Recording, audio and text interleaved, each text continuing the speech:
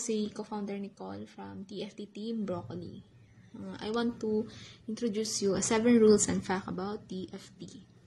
First rule, syempre, don't forget the meaning of TFT. Lagi nating tatandaan yan is true friends together. So, binuo po siya noong November 26, 2019. So, two years na po tayo mahigit dito sa, two years na pong mahigit binuo ang TFT. So, we have 64 teams in TFT1, we have TFT2, TFT3, and TFT4. So, sobrang dami na po natin, guys. Number two rules is respect, respeto at pagalang.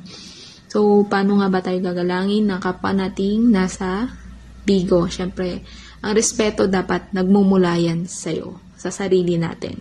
Para respetuin tayong pabalik ng nasa kapwa nating nasa bigo. Number three rules is unity. Unity is pagkakaisa. So, pag pag tinatawag na merong meeting, attendance, pagpapasuot ng avatar or name tag. So, kailangan natin makiisa guys para doon natin makikita yung tatag at samahan, tatag na samahan ng isang pamilya sa loob ng bigo.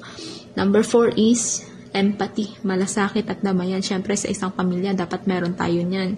Kapag may problema tayo is, kailangan nating, kapag may problema yung kapwa nating TFT is kailangan nating damayan para kahit man lang papano is gumaan yung pakiramdam nila.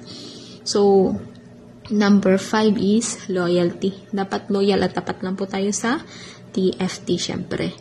Number six is bawal makipag-away o makipagbasagan sa live. So, um, kapag may umakyat na, na binasag ka or auto-click na agad yan sa live mo, tapos i-block mo para hindi na siya umakyat ulit. Tapos, syempre, kilala tayong mababait na sa TFT.